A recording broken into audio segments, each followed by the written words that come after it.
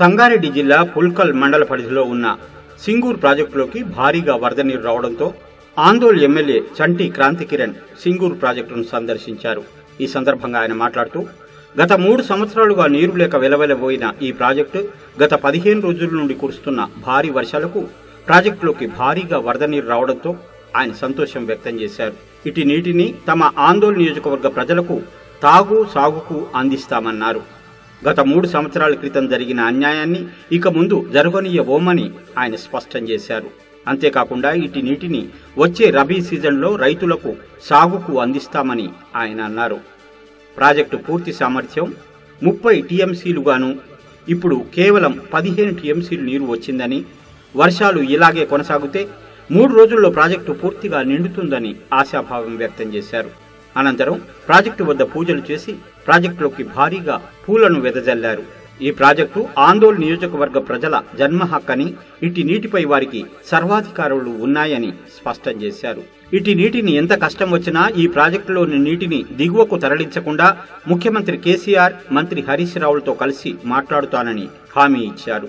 ఏది ఏమైనా ప్రాజెక్టులోకి భారీగా వరద నీరు రావడం తనకెంతో సంతోషంగా ఉందని అన్నారు. ఈ కార్యక్రమంలో ఆయన వెంట జనజాగృతి రాష్ట్ర కార్యదర్శి భిక్షపతి పుల్కల్ మండల ఎంపీపీ చైతన్య విజయభాస్కర్ రెడ్డి ఎంపీడీఓ విశ్వప్రసాద్ మండల ఉపాధ్యక్షులు ఎర్ర శేఖర్ ఆత్మ కమిటీ చైర్మన్ యాదగిరి రెడ్డి నాయకులు విజయ్ కుమార్ క్రాంతిసేన ప్రచార కార్యదర్శి ఎండి అఫిక్ సింగ్ తదితరులు పాల్గొన్నారు.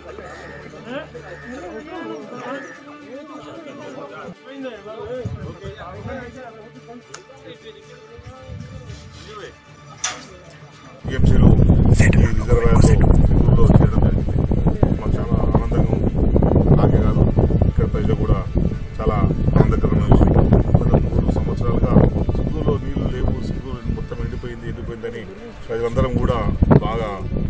అవుతుంటుంది గేట్ వదిలితేనే మన మిషన్ బయట నీళ్ళు వదలాల్సి వస్తుంది కనుక చక్రియాల స్కీమ్కి కొన్ని ఒక చక్రియాలు కనీసం తాగునీటి కోసమైనా వదలాల్సి వస్తుంది కనుక దాన్ని కూడా వదలాల్సి వస్తుంది. అన్ని కూడా ఇప్పటి వరకు ఏదైతే ఈ సింగు జలాన్ని ఈ- ఈ ప్రాంతానికి వినియోగించడంలో నిర్లక్ష్యం జరిగిందో అట్లాంటి నిర్లక్ష్యం జరగకుండా ఒక పద్ధతిగా ఈ మా నియోజకవర్గంలో కానీ దీని చుట్టుపక్కల ఉన్న నియోజకవర్గాల ప్రజలకు కానీ ప్రతి ఎకరాకి కూడా దీన్ని ఎట్లా ఉపయోగించాలనే ఒక ప్రణాళికల్ని మేము చేయడానికి ముఖ్యమంత్రి గారితో మాట్లాడతాం. ఎందుకంటే సార్ కూడా ఇరిగేషన్ మీద చాలా కృషి చేస్తుంది మీ అందరికి తెలిసిందే. తప్పకుండా ఈ నీటిని ఈ ప్రాంత ప్రజలకు ఎందుకంటే మన నియోజకవర్గం చుట్టూరా దాదాపు అన్ని మండలాలతో ఇది లింక్ అయి ఉన్న ప్రాజెక్ట్ ఇది. అన్ని మండలాల్లో కూడా ప్రజలు పుష్కలంగా తాగునీరు అందుతుంది వ్యవసాయానికి కూడా అందుతుందని చెప్పి నేను ఆశిస్తున్నాను. ఇది మన ఇక్కడ ప్రజల జీవన విధానాల్లో మార్పును తీసుకొస్తుందని చెప్పి అద్భుతమైన మార్పును తీసుకొస్తుందని చెప్పి నేను ఆశిస్తున్నాను. అంతేకాదు ఈ ప్రాంతం కూడా సింగూరు కూడా టూరిజంగా అభివృద్ధి చెందుతుంది. ఇంతకుముందు ప్రతిసారి కాలువలు మన గేట్లు ఎత్తినప్పుడు మాత్రమే జనాలు వచ్చేవారు.